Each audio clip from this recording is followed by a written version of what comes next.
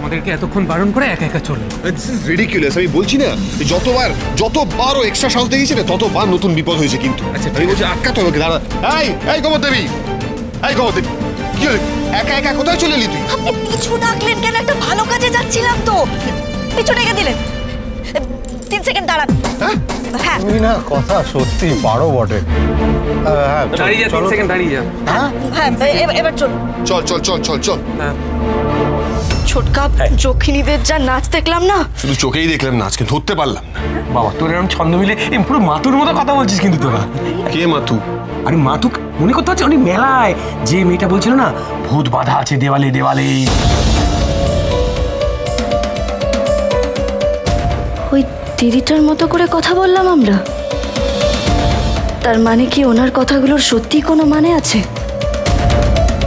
নাকি আমি বেশি ভাবছি?